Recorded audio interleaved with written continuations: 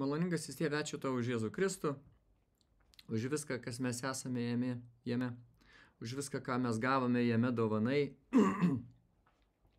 tavo malonės dėka. Nenusipelnė nieko, nieko neusitarnavę, bet dėl to, kad tu esi gailestingas, tu, tu sugalvoji tą nuostabų, nuostabų žmonijos išgelbėjimo planą. Ir, ir mus, į, mus įtraukė į savo, savo amžiną, amžiną šlovingą planą, kurį tu esi sugalvojęs e, dangaus vietose. Dėkojame tau už tai. Ir, ir, ir taip pat džiaugiamės, kad galime studijuoti tavo žodį ir pažinti tuos dalykus. Dėkojame tau Kristaus vardu. Amen.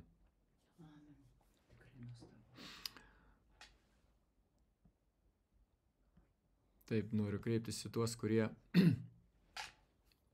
žiūri, žiūri YouTube'ą naršo po, po interneto erdvės, ieško atsakymų. Žmonės vieni ieško atsakymų, kiti atsitiktinai užsuka pasmalsauti. Kaip ten bebūtų. Noriu kreiptis į Jūs ir, ir, ir mm, užduoti tokį klausimą, ar Jūs esate tikras savo ateitimi. Aš turiu menį ne ar savo finansinė ateitimi, ar, ar dar kažkokia tai, bet savo amžinybę. Kas bus, kai jūs e, mirsite, kur jūs keliausite, kas bus pamirties, kas jūsų laukia.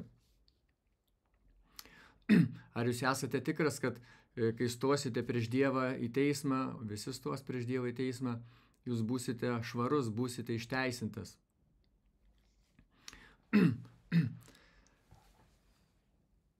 Dievas e, kaltina visą žmoniją.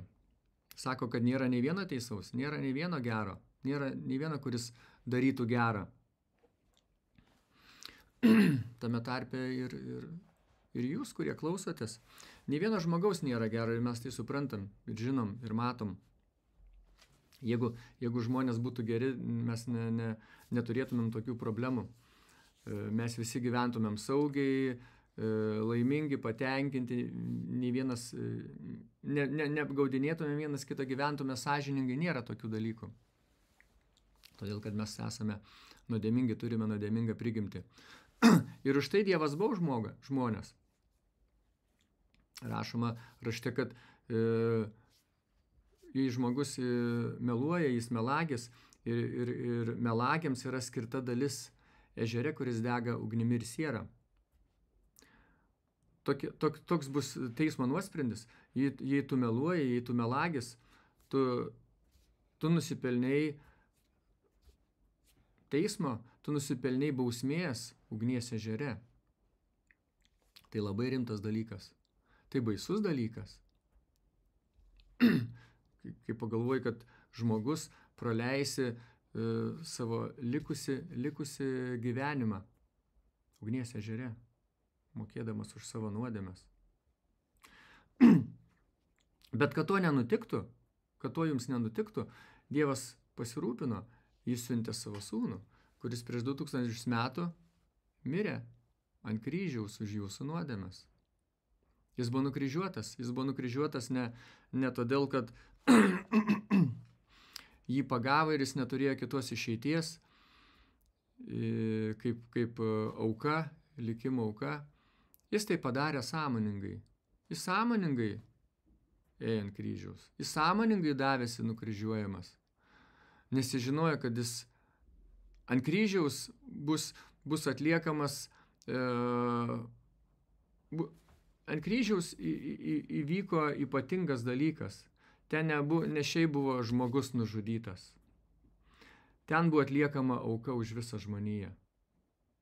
Ir tą auką stebėjo Dievas, tėvas žiūrėjo kaip jo sunus, paklusnus sunus, mirė ant kryžiaus. Sumokė už visas jūsų nuodėmes, visas iki vienos. Ir ką jums reikia daryti, tiesiog pasitikėti juo. Tikėti, kad jis ant kryžiaus sumokėjo už jūsų nuodėmes. Jis mirė ant kryžiaus už jūsų nuodėmes, buvo palaidotas ir trečią dieną prisikėlė.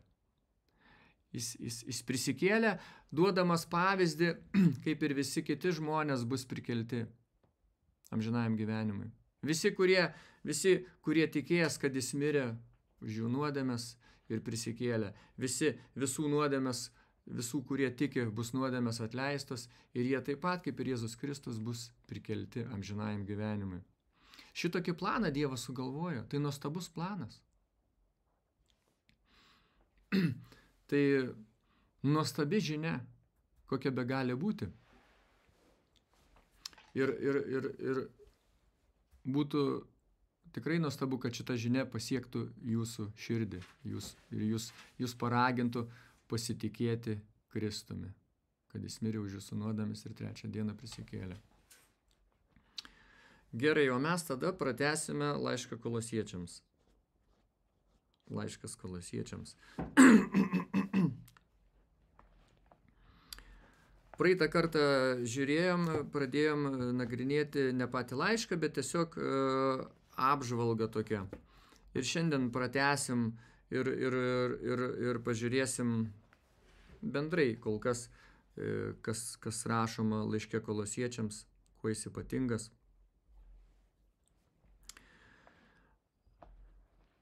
Kaip, žin, kaip jau žinome, Pauliaus laiškai, jie yra parašyti, sudėti į, į, į Pauliaus laiškų sąrašą dvasinė tvarka. Ne chronologiškai, bet dvasinė tvarka. E, jeigu, jeigu visi laiškai būtų surašyti, sudėti, surišti e, chronologinė tvarka, tai Pauliaus laiškai atrodytų kitaip. Pati Biblija atrodytų kitaip.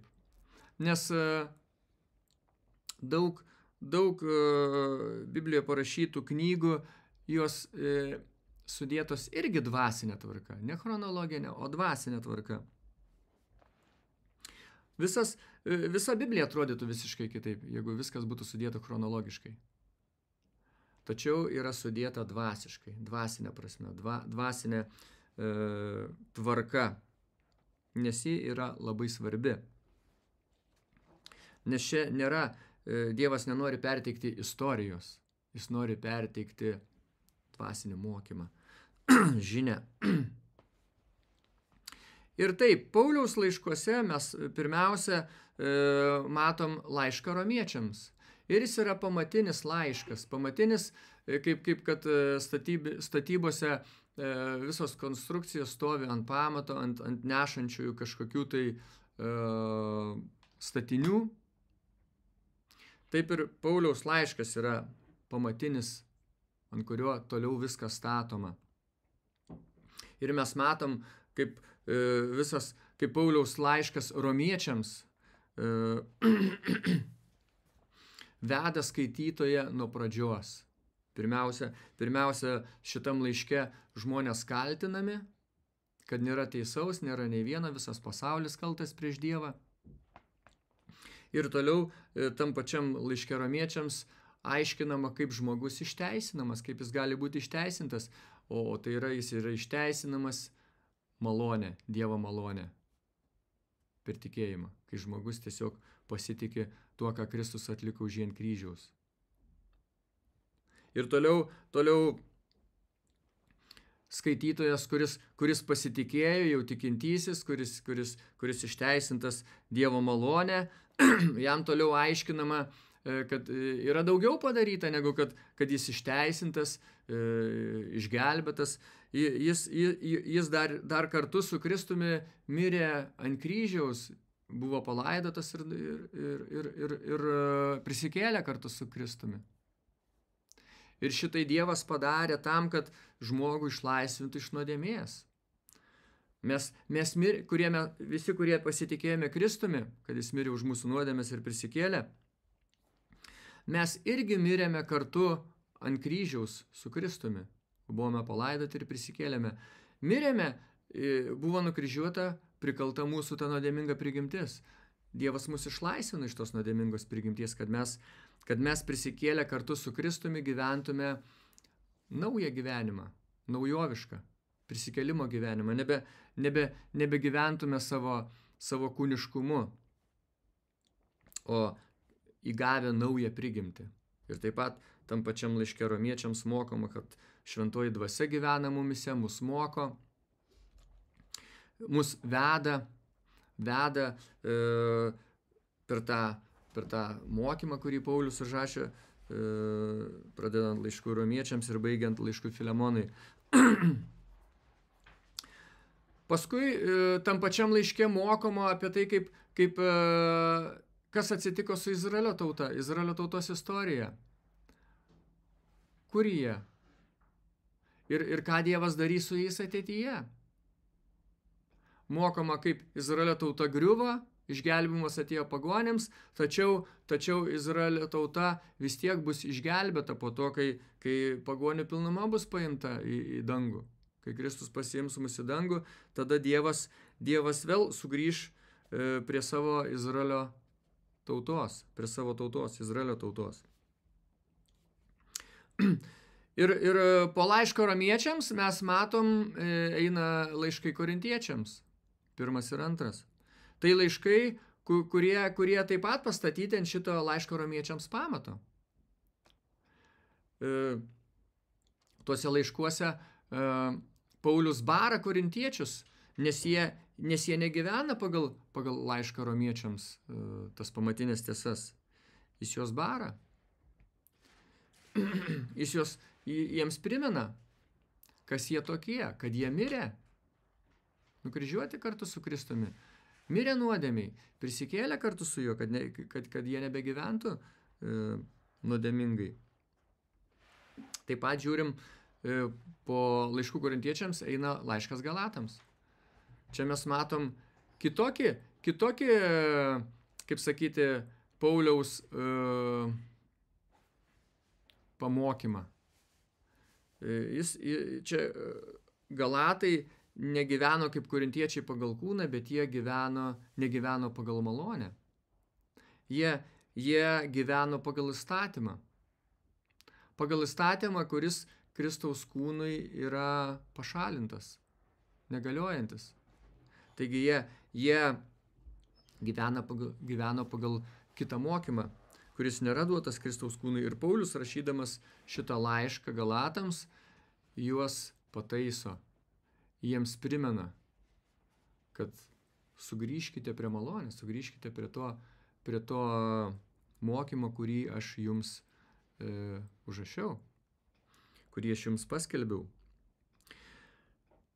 Ir po to, po laiško Galatams, mes matom laišką Feziečiams, kuris yra, e, kuriame yra surašyta pažangesnė informacija, daugiau, daugiau apreiškimų. Paulius rašo, kad Jėzus Kristus jam, kai pasirodė, e, jam, jam e, su kiekvienu pasirodymu atskleisdavo vis daugiau apreiškimų.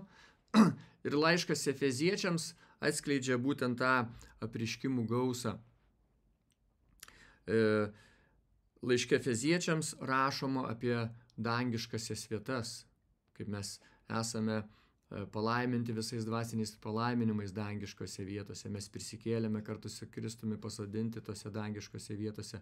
Mūsų viltis, mūsų pašaukimas yra dangiškose vietose. Ten yra mūsų paveldas.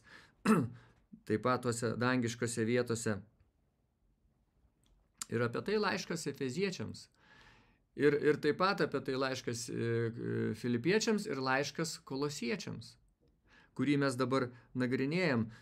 ir laiškas Kolosiečiams e, yra, yra labai, labai artimas laiškui Efeziečiams. Ta prasme, kad tai tarsi, tarsi Paulius atsisėdo ir, ir vienu prisėdimu parašė ir Efeziečiams, ir Kolosiečiams tas pačias mintis E, tą patį mokymą. Ir mes skaitydami laišką kolosiečiams ir laišką feziečiams atrandame tuos panašumus. Pamatoma. Pamatome, kaip jie, kaip jie, kaip tie laiškai papildo vienas kitą. Ir vėlgi, e, laiškas efeziečiams jis yra pamatinis, pamatinis apie dangiškasias vietas, apie tolimesnį mokymą, apie tą perspektyvą dangaus vietose, tą amžiną šlovę dangaus vietose, O laiškas kolosiečiams, jis, jis kolosiečius uh, pataiso. Nes, nes jų, jų, jų, jų, jų mokyme, e, į, į, į jų mokymą įsivėlė klaidingo mokymo. Ir, ir e, Paulius rašo, kad e, laiškė kolosiečiams antrame skyriuje, kad, kad e, antras skyrius 18 eilutė. Niekas jūsų ten nenuvilioja nuo jūsų atlygio tyčinių nusižeminimų ir angelų garbinimų.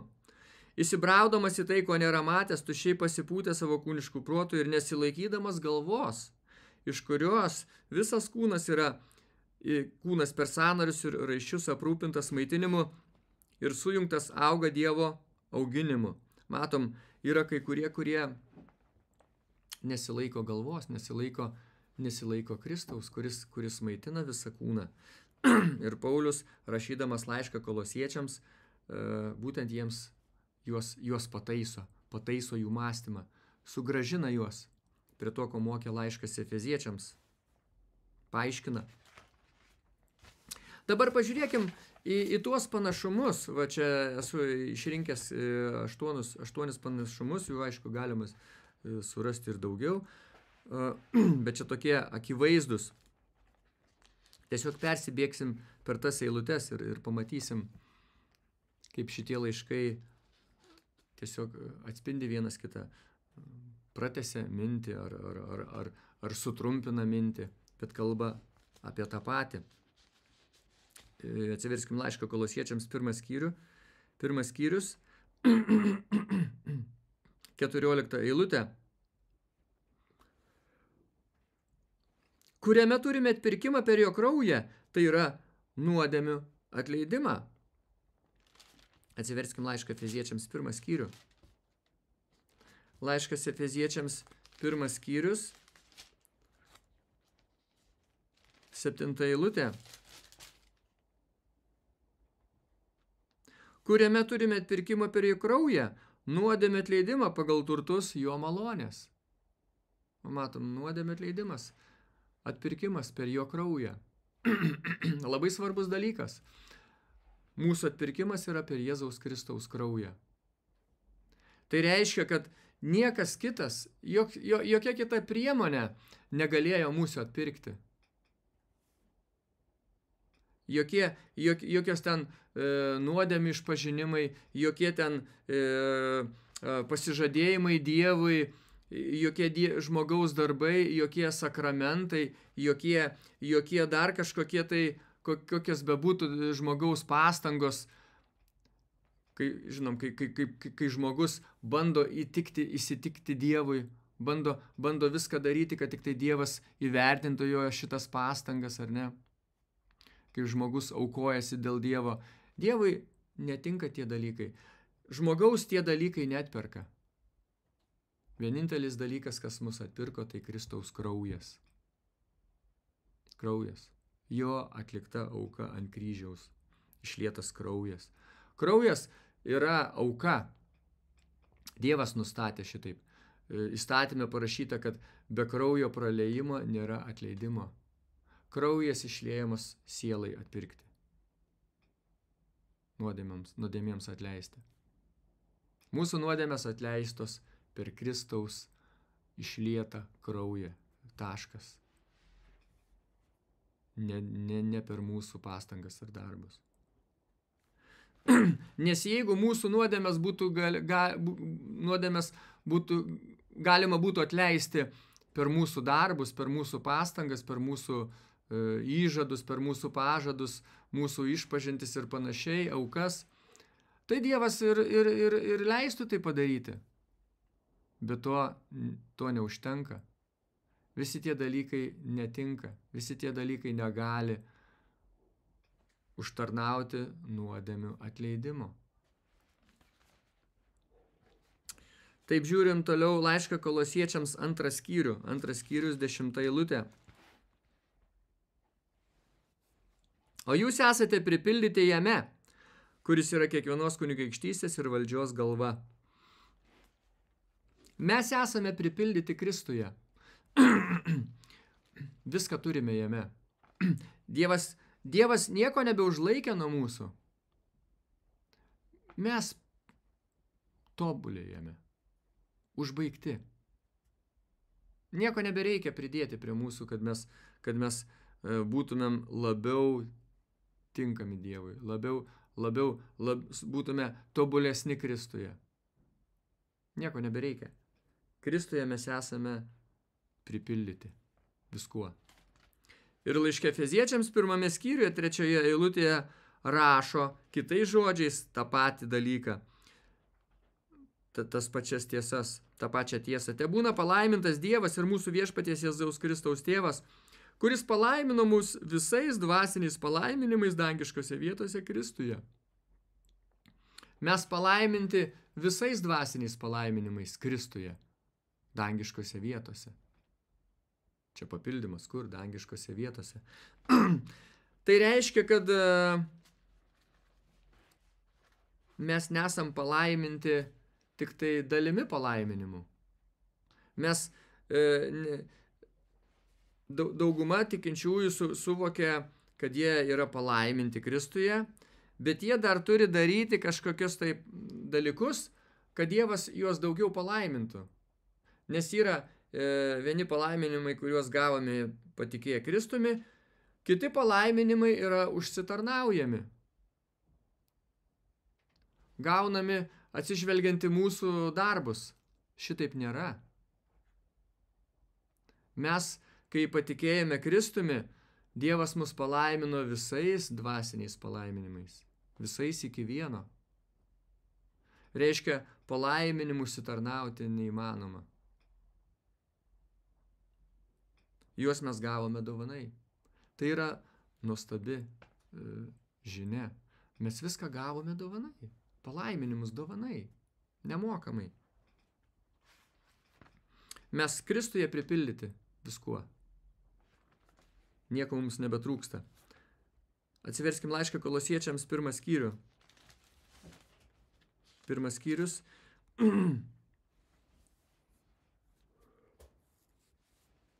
16 eilutė. Nes per jį sutverta visa, kas danguje ir kas žemėje, regima ir neregima, ar tai būtų sostai, ar viešpatystės, ar kunigaikštystės, ar valdžios. Visa yra per jį dėl jo sutverta.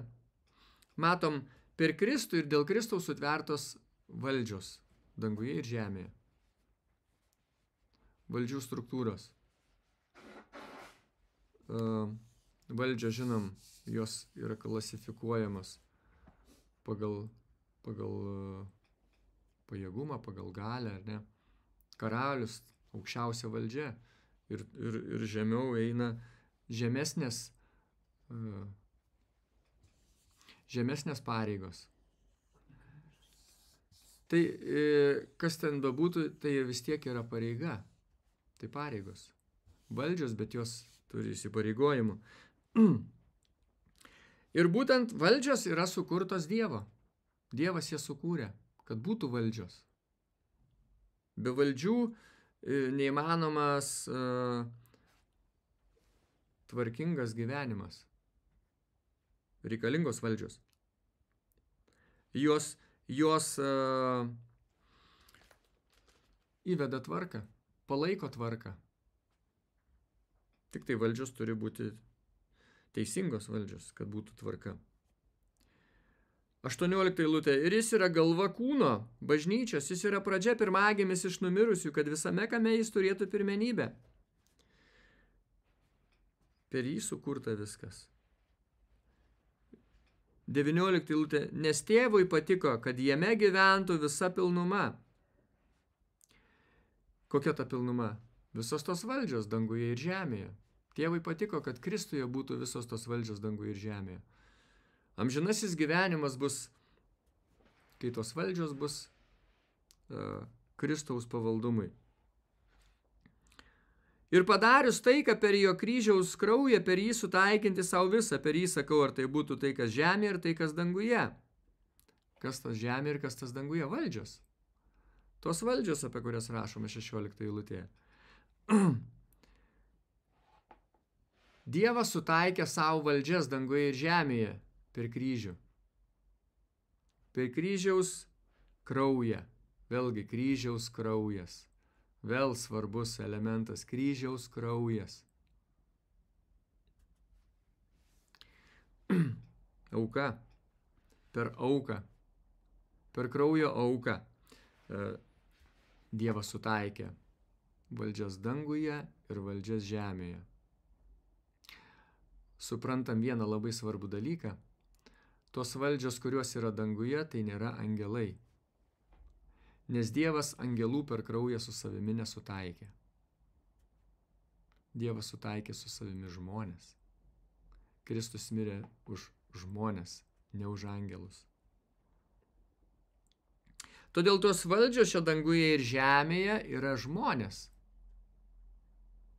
Žmonės. Žemėje Izraelio tauta, danguje Kristaus kūnas. Ir jie visi atsidūrė ten, kur atsidūrė, dėka Kristaus kraujo. Izraelis atsidūrė palaiminimuose visuose žemiškose, toje, uh, tuose pažaduose, kur, kur Dievas žadėjo jiems amžiną gyvenimą, uh, žemėje jie bus karaliai ir kunigai. jie visą tai paveldės per Kristaus kraują. Mes, Kristaus kūnas, atsidūrėme dangaus vietose, uh, palaiminti visais dvasiniais palaiminimais Kristuje, pripildyti jame mes atsidūrėme tokioje į tą vietą, atsidūrėme Kristuje per jo kraują.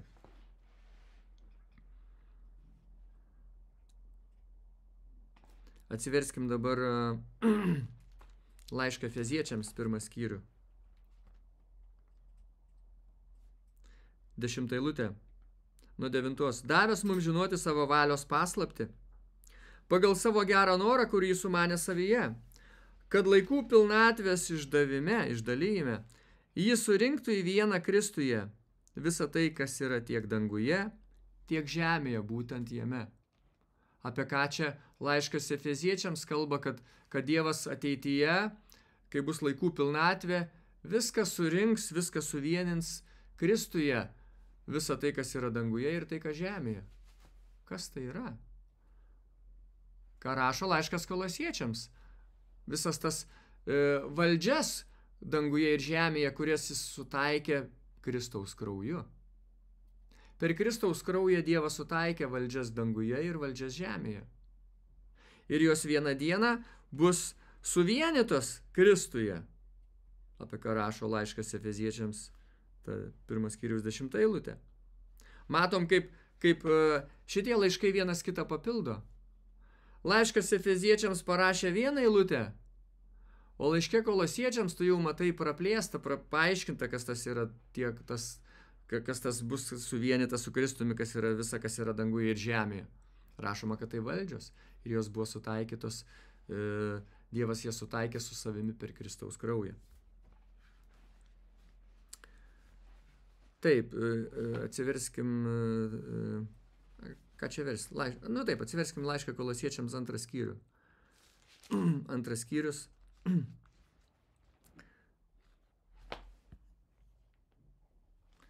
Septinta eilutė. Nuo šeštos. Todėl, kai priėmėte Kristų Jėzų viešpati, taip ir vaikščiokite jame, išaknyti ir pastatyti jame ir sutvirtinti tikėjime, kai buvote išmokyti tame pertekė dėkojimo. Mes esame išaknyti ir pastatyti ir sutvirtinti tikėjime Kristuje. Jame įsišaknyje. Stovime jame Kristuje. Mes ten esame. Kristuje. Iš ten viskas, e, visos, visos, visos e, mūsų gyvenimo ištakos. Jame įsišaknyje, kaip medis įsišaknyje, suleidę šaknis į Kristų ir siurbėme iš jo tą gyvybės, tą, tą gyvenimą, Čia nėra, kad išsirbėme iš Kristaus gyvenimą ir jis nebeturi jo. Ne, jisai dalinasi juo. Jis jo turi tiek gausiai, kad gali juo dalintis. Toks gausus jo gyvenimas. Netgi turtaisis dalinasi su mumis savo paveldu. Išaknyti ir pastatyti jame ir sutvirtinti tikėjime. Atsiverskim laišką feziečiams trečią skyrių. Trečias skyrius, 17 eilutė. kad Kristus per tikėjimą gyventų jumise, kad jūs išaknyti ir pastatyti ant pagrindo meilėje. Ant, čia rašoma, mes išaknyti ir pastatyti ant pagrindo meilėje. Bet mes įsišaknyjame Kristuje, rašo laiškas kolosiečiams, o čia rašoma meilėje. Bet toliau ir, ir, ir, ir pratęsia 18 eilutė, pajėgtumėte su visais šventaisiais suvokti, kas yra plotis ir ilgis ir gilis ir aukštis ir pažinti Kristaus meilę, kuri pranoksta pažinimą, kad būtumėte pripildyti visą Dievo pilnatvę. Mes įsišaknyjame, mes įsišaknyje pasistatę, stovime įsitvirtinę toje meilėje, Kristaus meilėje. Tai ir yra tas įsišaknyjimas į Kristų, į jo meilę. Kristus ir, jis, jis, jis, jis yra meilė. Dievas yra meilė. Jis, jis mus myli begalinę meilę. Viską, ką mes patirsime, visą amžinybę, tai Kristaus meilė. Jis mus mylės per amžius. Kokie mes laimingi, ar ne? Kristus mus mylės per amžius. Ir mes dabar įsišaknyjame į tą jo meilę. Bandome suvokti, kokia ji yra. Kokia ta meilė, kuriais, kuriais mylės mus visą amžinybę.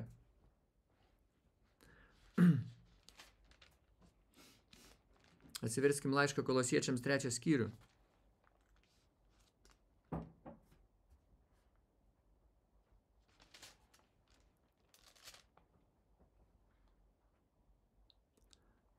Antras skyrius, atsiprašau, antras skyrius.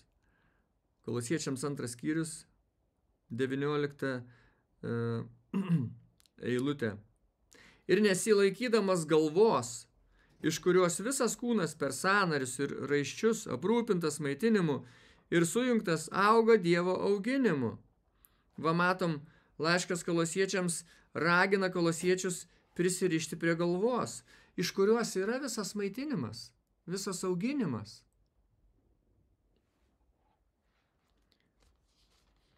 Galva čia yra Kristus. Atsiverskim dabar laišką Efeziečiams ketvirtą skyrių. Laiškas Efeziečiams ketvirtas skyrius. 15 eilutė. Bet kalbėdami tiesą meilę visų kuo auktume į jį, kuris yra galva, būtent Kristus. Iš kurio visas kūnas suderintai sujungtas ir suglaustas, kiekvieno senorio tiekimu pagal veiksmingą darbą kiekvienos dalies metu, augina kūną savo statydinimui meilėje. Matom, kaip efeziečiai, laiškas efeziečiams ir laiškas kolosiečiams papildo vienas kitą. Vienur parašyta viena eilutė, vienoje eilutėje visą tai sutraukta į vieną mintį, kit, kitam laiške pratėse, praplečia tą, uh, panagrinėja labiau. Va tai tam, tam, tam, ir, tam Dievo žodis ir yra, kad mes jį nagrinėtumėm. Išsiaiškintumėm, bet žiūrėdami vis kažką labiau įsiaiškinam, vis, vis, labiau, vis, vis labiau susipažįstame su, su, su, su Dievu, su Kristumi, su tuo, koks jis, kaip jis, ką jis, ką jis daro su mumis, ar ne? Atsiverskim laišką kolosiečiams trečią skyrių.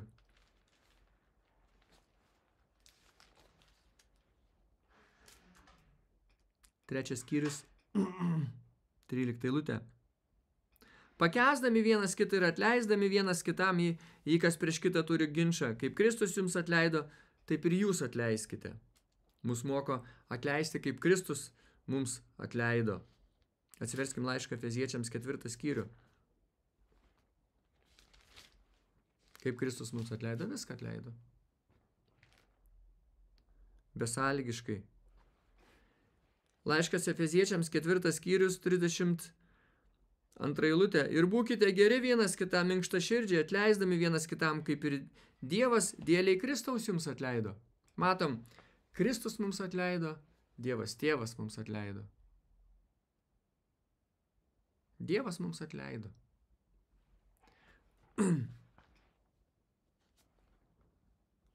Mes jau prie to pripratom. Bet iš tikrųjų, bet iš tikrųjų tai, tai nuostabi žinia, kad Dievas mums atleido. Nebėra tarp mūsų ir Dievo susipriešinimo. Laiškas kolosiečiams trečias skyrius, 16 eilutė. Trečias skyrius, 16 eilutė. Tegul Kristaus žodis turtingai gyvena jumise, visą išmintimi, mokant ir įspėjant vienas kitą psalmėmis, gimnais ir dvasinėmis giesmėmis, gėdant viešpačiui su malonė savo širdise. Mes mokomi, e, kad, kad mum, raginami, kad mumise Kristaus žodis turtingai gyventų. Reiškia, Kristus gyvena mumise per savo žodį. Jis kitaip negyvena per savo žodį. Jis gyvena mumise ir, ir, ir, ir, ir, ir savo žodžiu mus pripildo. Pripildo mūsų mintis, mūsų širdis savo žodžiu. Kai mes įsileidžiame visą tai. Ir dabar atsiverskim laišką Feziečiams penktą skyrių. Laiškė Feziečiams uh, pasakyta visą tai kitais žodžiais. Laiškas Efeziečiams penktas skyrius, 18 eilutė. Ir nebūkite prisigėrę vyno, kuriame yra nesaikingumas, bet būkite prisipildę dvasios, kalbėdami savo psalmėmis ir himnais bei dvasinėmis giesmėmis, gėdodami ir kurdami savo, kurdami savo širdie melodiją viešpačiui. Matom, lygiai taip pat kaip ir laiškė kolosiečiams.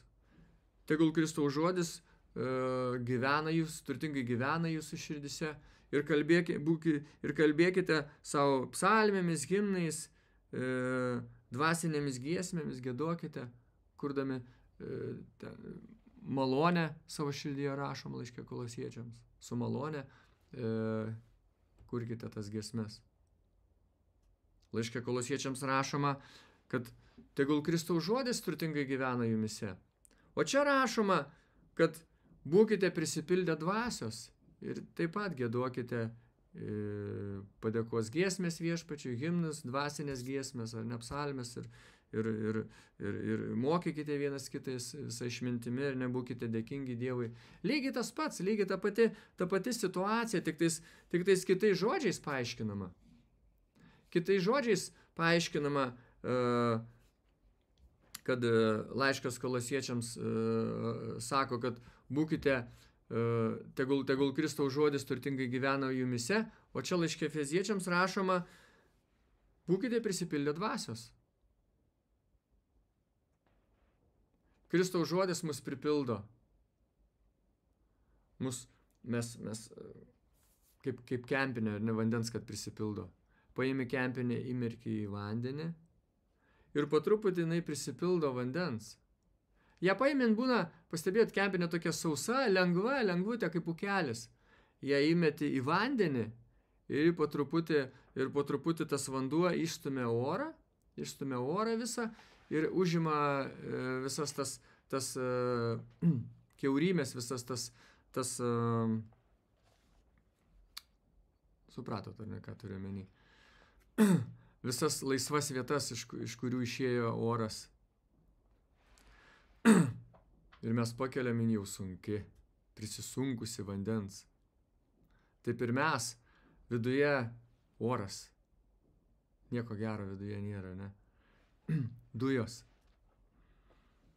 Įeina Kristaus žodis, mes, mes skaitome jį, mes, mes jį įsileidžiame į savo mintis, mes įsileidžiame į savo širdį, leidžiame, leidžiame tam e, Kristaus žodžiui e, apsigyventi mumise, pripildyti mus. Mes būname prisipildę Kristaus žodžio, jis turtingai gyvena mumise. Ir laiškas Efeziečiams sako, kad mes tuo metu būname prisipildę dvasios. Dvasia. Dvasia mus pripildo Kristaus žodžio. Kristumi mus pripildo dvasia. Iš to mes galim suprasti, kaip dvasia veikia žmoguje, tikinčiajame. Dvasia ne, ne, ne, ne, ne, ne, ne, neblykčioje priekyje, ten šviesoforų nejunginėja, rodiklių nesukinėja nebado į šoną, ar, ar balsu nekalba iš kažkur tai. Šitaip dvasia nedaro. Dvasia mus pripildo Kristaus žodžiu. Tuo žodžiu, kuris užrašytas rašte, Pauliaus laiškuose. Čia Paulius rašo apie savo laiškus, apie, apie jam duotą prieiškimą. Ir kai to, tuo apreiškimu, kurį Paulius užrašė, mes prisipildome, savo mintis ir savo širdis. Kristaus, Kristus turtingai gyvena mumise, Kristaus žodis turtingai gyvena mumise, mumise mes būname pilni Dievo dvasios. Ir tada dvasia gyvena mumise, gyvendama mumise mus moko. Moko tų žodžių. Aiškina mus, vaikšto po mūsų, po mūsų proto koridorius ir mums aiškina, rodo tos dalykus. kad mes suvoktumėm, kas rašte parašyta. Matom, kaip tie laiškai papildo vienas kitą. Atsiverskim paskutinį pavyzdį, pažiūrėsim laiškas kolosiečiams ketvirtą skyrių. Laiškas kolosiečiams ketvirtas skyrius.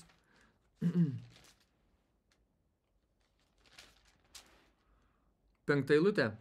Vaikščiokite išmintingai priešais tuos, kurie yra išorėje atpirkdami laiką.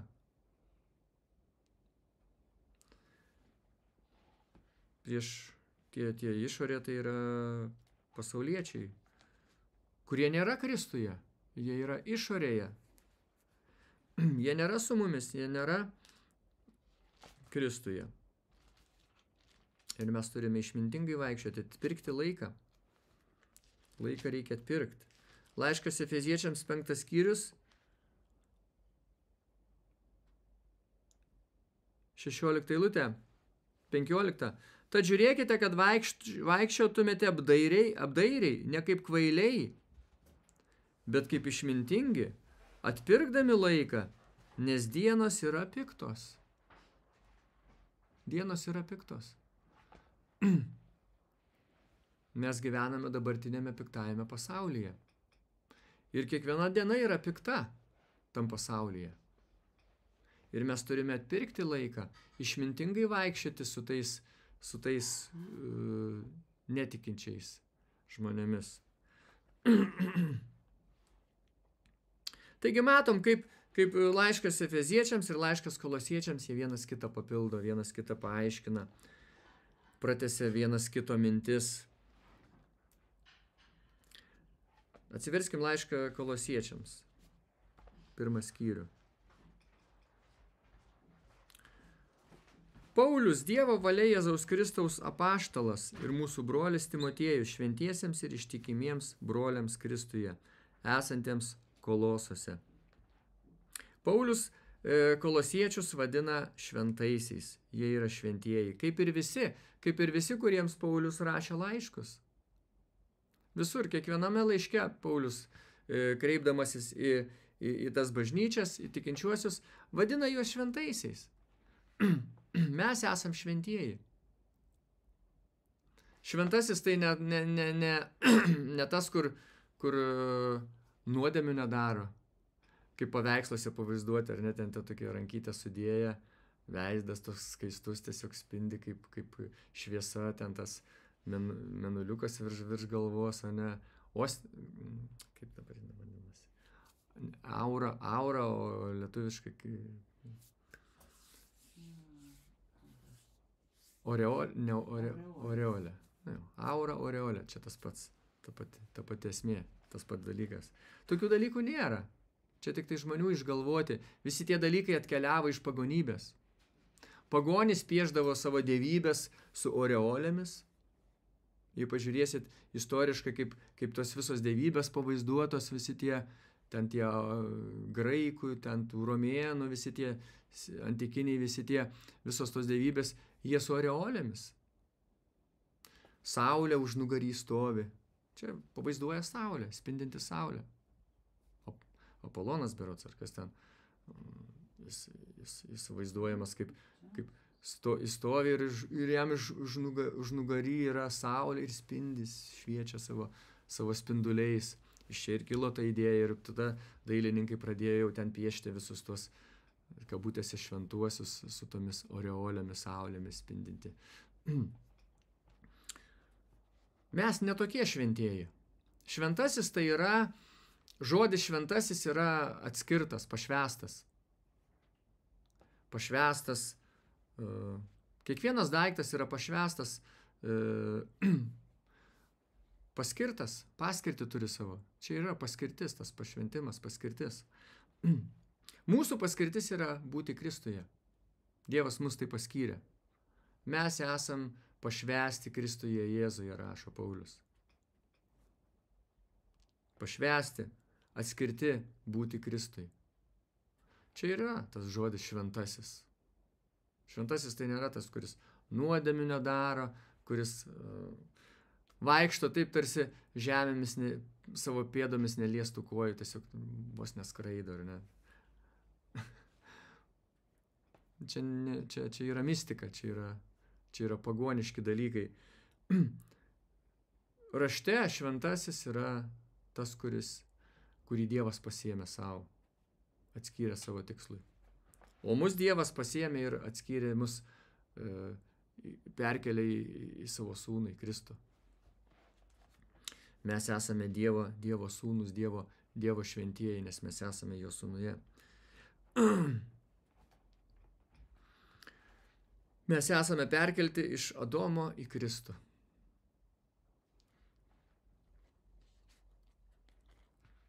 Taip, e, skaitykim. Paulius Dievo valia Jėzaus Kristaus apaštalas ir mūsų brolius, brolis Timotiejui. Paulius.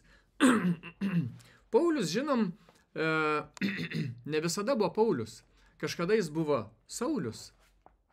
Žinom, tą tą istorinį tarpsnį, kai, kai Saulis, kuris keliavo e, ir, ir, ir, ir persikė Kristaus bažnyčią, Jėzus jam pasirodė, sako, Pauliau, Pauliau, kodėl mane persekioji? Sauliau, Sauliau, kodėl mane persekioji? Jis buvo Saulius.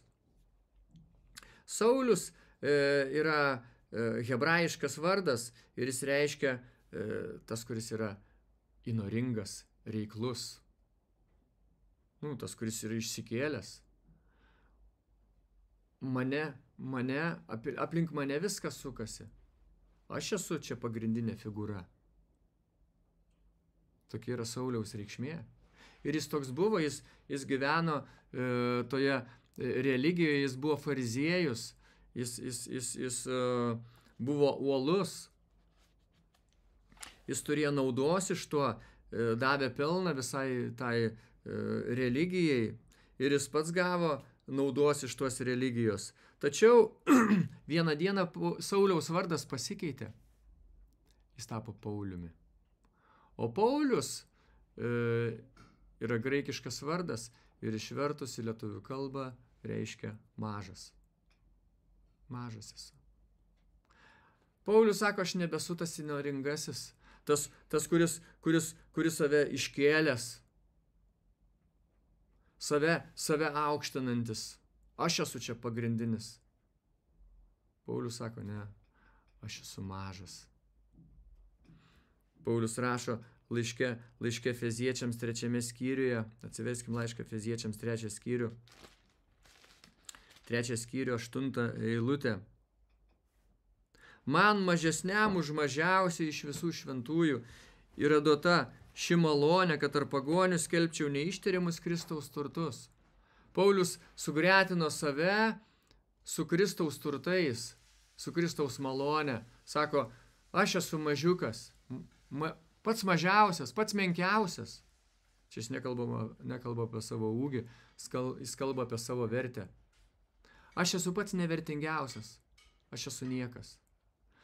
Iš visų mažiausių šventųjų, mažesnis už mažiausiai iš visų šventųjų.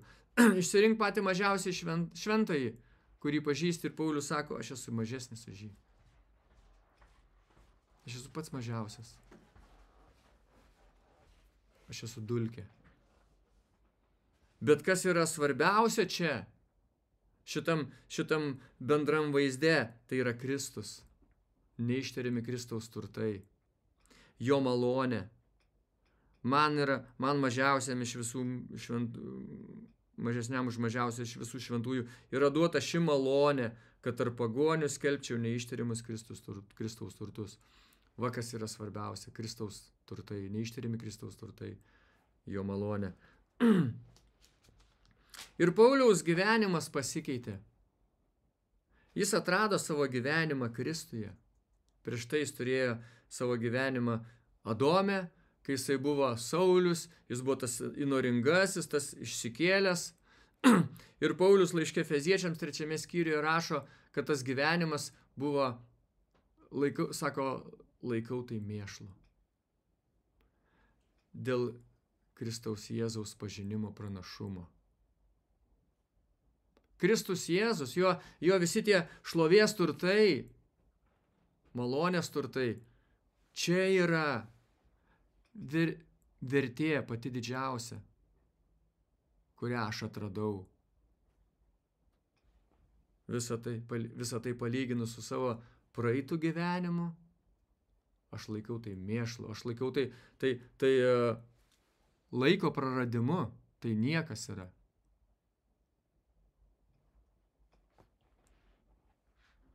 Jis atsisakė šito gyvenimo praeities. Ir atsisakė būti Sauliumi. Jis tapo Pauliumi.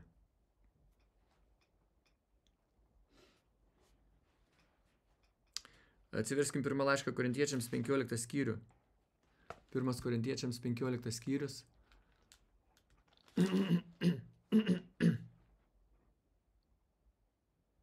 Pirmas korintiečiams 15 skyrius.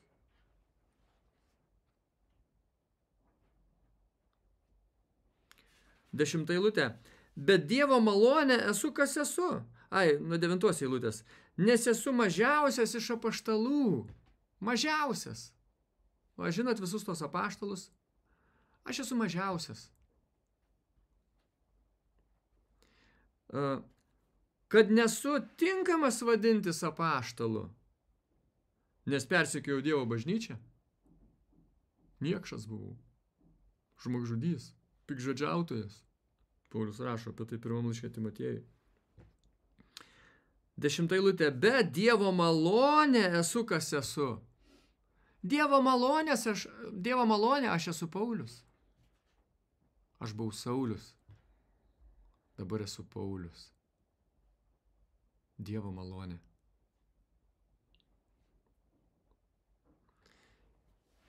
Ir man suteikta jo malonė nebuvo bergždžia, bet aš triūsiau gausiau negu jie visi, tačiau ne aš, bet Dievo malonė, kuri buvo su manimi. Dievo malonė. Paulius iškelia Dievo malonę ir kiekvienam laiške rašo, malonė jums ir ramybė. Nuo Dievo Tėvo ir viešpatės Jėzaus Kristaus. Paulius suvokė, tai, koks tai nuostabus dalykas yra Dievo malonė. Kai Dievas mus, mus savo malonę ne tik tai atleido mūsų nuodėmės, ne tik tai iš, ištraukė mus iš, iš to ugnies e, ežero, ne iš tos bausmės, amžinos bausmės, bet jis mus apdovanoja gausiais turtais Kristuje, tais, e, tais, tais, tais, tais gausingais paveldais, tuo gausingu paveldu, kurį turime Kristuje, visam žinybę. Mes džiaugsimės jo malonę. Mes visam žinybę gyvensime Dievo malonės apsuptyje. Paulius rašo, kad ateinančiais amžiais Dievas parodys beribių savo malonės turtus. Beribiai savo malonė, beribiai jo malonės turtai. Nėra ribų, jie nesibaigiantis. Mums sunku tai suvokti. Bet iš tų žodžių, kuriuos Paulius mums užrašo, mes, mes matom, kokia tai bus nuostabi ateitis. Ir Paulius pateikė tą nuostabią ateitį, nuostabią realybę, ji yra mūsų realybė. Čia yra mūsų realybė, mes esame paveldėtai visos tos, viso, vis, visos tos Dievo malonės, visų tų turtų, Kristaus turtų. Paulius supažindina mus su ta realybė. Jis pats negali nustykti iš džiaugsmo, neparašęs šitų nuostabių dalykų kaip mus Dievas apdovanojo gausingai Kristuje. Ir todėl jisai, jis atsisakė savo buvusio gyvenimo. Nes tas, kurį jis turi dabar Kristuje, yra nepalyginamai nuostabesnis. Turi nepalyginamai didesnę vertę, am, amžinybės vertę, kokybė visiškai kita. Dievo šlovė. Jis, tas, tas, tas, ta, ta, ta, tas, tas lobis, ta vis ta vertė, kurią mes gavome, jį spindi Dievo šlovė. Mūsų gyvenimas yra paslėptas su Kristumi Dieve. Kai pasirodys Kristus, kuris yra mūsų gyvenimas, tuomet ir mes pasirodysime su juo šlovėje. Nuostabi ateitis mūsų laukia. Ir tai dėl Dievo malonės. Dėl Dievo malonės dabar mes su Paulium galim sakyti, aš esu, kas, kas, kas aš esu. Gerai, dabar padarykim pertrauką ir